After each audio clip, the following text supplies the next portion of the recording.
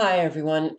It is December 7, 2017. Underneath this video that I posted last night on the medical proof of electromagnetic hypersensitivity, brain damage shown in the results of MRIs, I got this comment from Mark Pond. I would love to see you do a video about the effects of gadolinium it causes another layer of complications for us. I had many difficulties from it. Gadolinium. I was like, what is gadolinium? Boy, there are so many toxins that so many of us have been subjected to, injected with, or that we swallowed, or that we were given an enema of. So, what is gadolinium?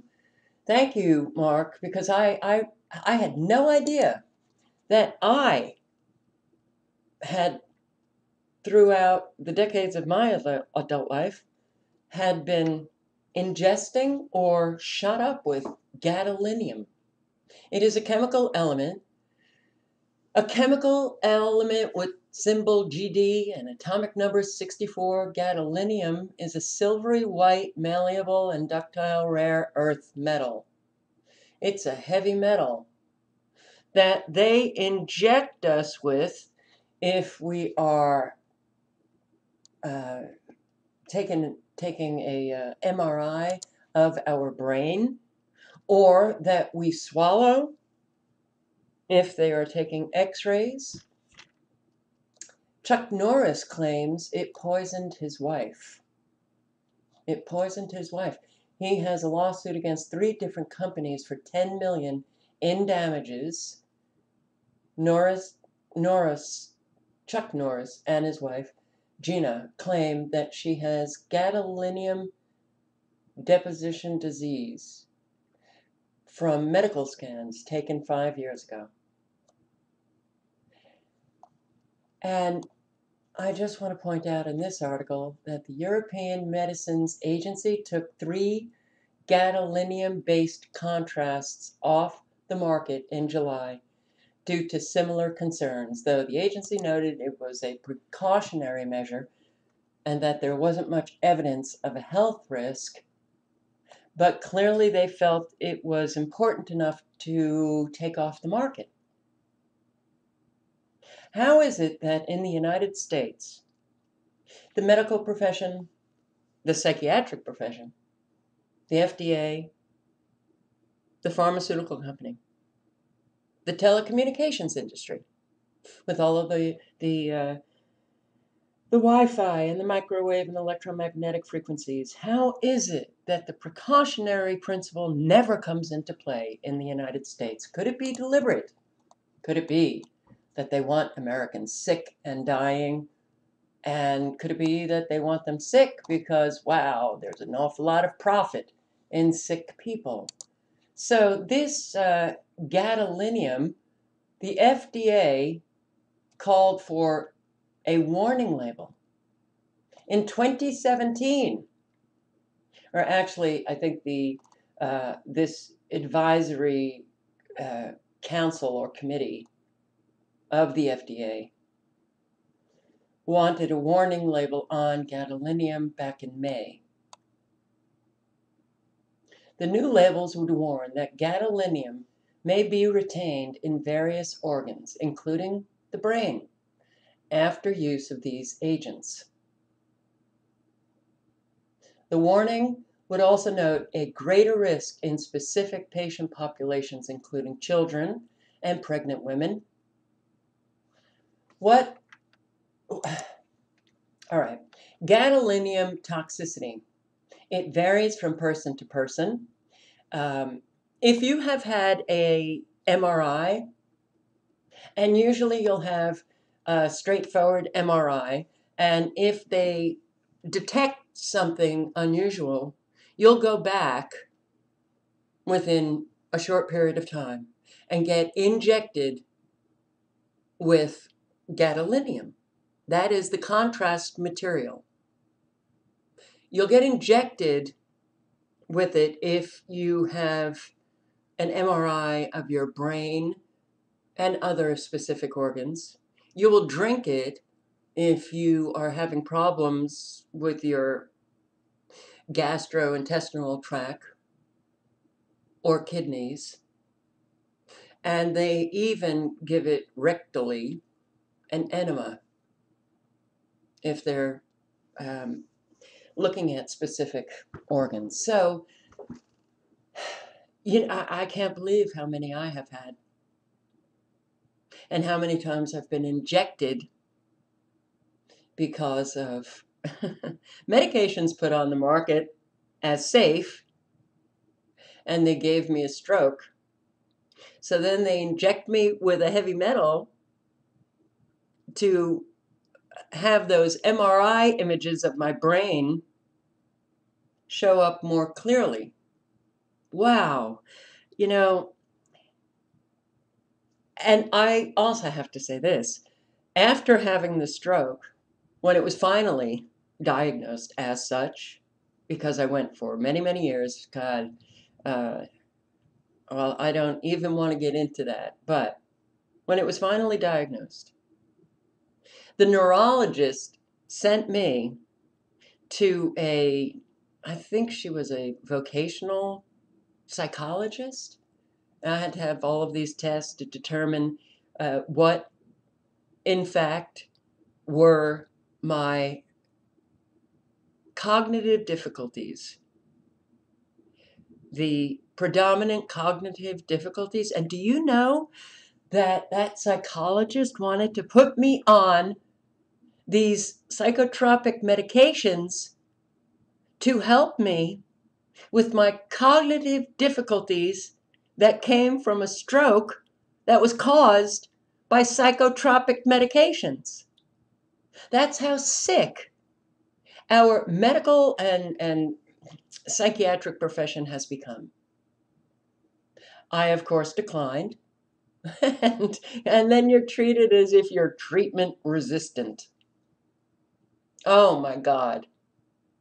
So, symptoms of gadolinium toxicity are generally experienced at an acute level shortly after having a contrast MRI and at a chronic level for years following their last contract, contrast MRI. Some people have the early acute symptoms that they can tie time wise to their contrast MRI. Often they are very frightened, and any appeals to the medical profession, professionals involved in the contrast ordering or administration process meet with denial or disbelief regarding the connection of their symptoms to the contrast agent, gadolinium. And certainly there is no supportive relief. Others experience chronic symptoms that their doctors cannot explain through research or testing. Uh, testing, they make the connection back to the contrast MRI. The symptoms pain, aching, burning, tingling, and or prickling pain, deep bone pain, typically in extremities or joints, and sometimes in the location where the MRI occurred, like the head.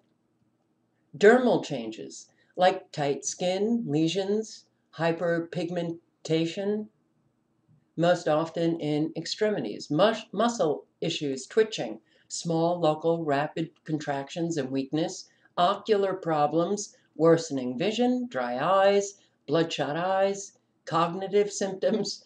You, you go to get an MRI so that they can determine whether or not you had a stroke, where the stroke was, and they're giving you an agent that may very well worsen your cognitive symptoms ear, nose, and throat, tinnitus, swallowing and voice problems, low body temperature, hair loss, itchy skin, balance problems, swelling of extremities.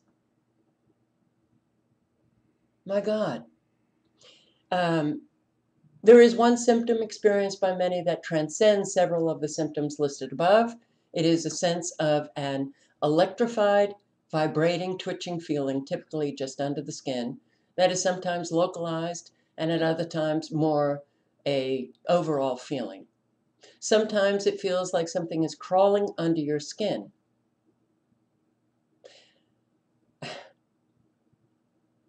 My, how, how do you even determine what is the cause of the various symptoms that people have when they are symptoms of so many other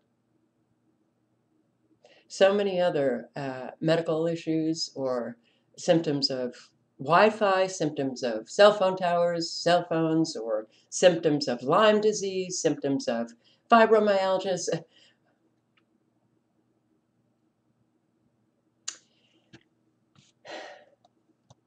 Uh, yeah, you know,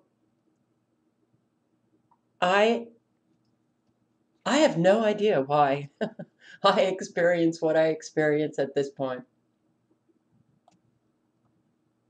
Um, you know, when you read that this gadolinium toxicity can cause chronic problems, and in reading the symptoms, I have many of those symptoms. it's, it, it truly is a wonder that we still have Americans able to just walk about and function at all. It is much harder to describe the chronic experience because each of our bodies is different. Yes, I've been saying that for a long time. Um, saying it particularly because there are an awful lot of people who believe that their experience is everybody's experience. Um, and I say that so that people who think that, well, if you just did what I did, then everything would be hunky dory for you, um, to really get them to reflect on their thinking, reevaluate that, because it it's, it's stemming from judgment, and that then leaves the person who's experiencing the symptoms feeling judged and not supported at all. But since nothing has been published about patients with normal kidney function who develop NSF, we do not know if anyone with normal kidney function has died from their exposure to gadolinium based contrast agents. Um, and those who are experiencing kidney problems, my hunch is that they have taken a lot of gadolinium. So if if that's you, um, you really do need to do some research on this gadolinium. But some have been diagnosed with small fiber sensory neuropathy.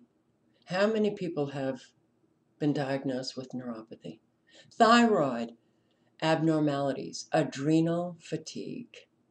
I have adrenal fatigue. I have no doubt I have adrenal fatigue. I have had it for, well, certainly since I was put on those medications or took those medications. Um, but it is something that I have battled forever. And when I think about all of the medications, all of the MRIs, all of the, the gadolinium, all of the environmental toxins, yes, there will be a lot of people with adrenal fatigue that is very, very difficult to um, to deal with, to to cure, quote unquote. Often these diagnoses indicate some sort of atypical presentation of the associated symptoms. Um, since no related medical research has been published, we have no way of knowing whether there is a connection between the gadolinium toxicity and these conditions, though there there have been studies, and when you have uh, institutions like the European Medicines Medicines Agency, when you have the FDA coming out finally with a warning after so many decades of Americans being shot up or uh, they drinking or they getting enemas with gadolinium. With uh, gadolinium also comes with other chemicals, then something is far wrong with gadolinium. So I will link below to um, to these articles. Please circulate this information because it's very, very important. You know, when I went for my MRIs, did I think that I was being injected with a poison, a heavy metal? Was I told that? No.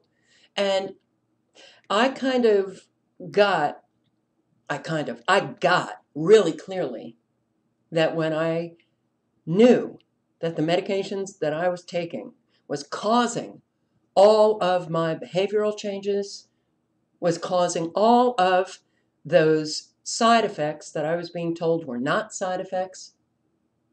When I finally knew it, um, my brain just went completely blank. I'm going to put you on pause to try to remember what I was going to say. Got it. I immediately got, oh my God, I have been so profoundly, powerfully inculcated in the myth of doctor knows best. But even then, it took me probably another decade to finally say to myself, no more. I am no longer going to just let medical doctors do whatever the hell they want to do without doing the research. But at that time of all of those tests, all of those MRIs, did I once question these medical doctors, what they were doing, what I was being injected with? No. No. So that's why it's important for all of us to get the information out, circulate it, so that Americans can be informed, and then they can actually decide for themselves whether or not they will go and get these tests. Now, I am pretty sure that I have experienced many strokes. Once you have a stroke, you are susceptible to more mini strokes. And stress, a lot of, you know, things can cause that. And I am pretty sure that I have. When friends have said, you know, go get another MRI, I'm like, are you kidding me? No more. No more. I didn't even know about gadolinium. I just knew that I was not going to subject my brain to more radiation. But now I definitely won't do it, especially since you know, the first time they wanted to give me drugs that caused my stroke in the first place. You know, not as a cure for the stroke, but to help me with my cognitive symptoms? No. This, this world has truly become very dangerously insane. Everything needs to be questioned.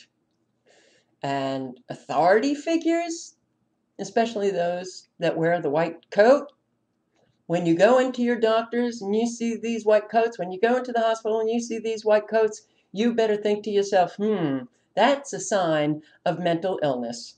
It is called the white coat syndrome. Some of the symptoms delusions of grandeur, severe arrogance, God like um, godlike delusions. Oof. Thank you for leaving the comment, Mark. Wow. Quite a time we're living, isn't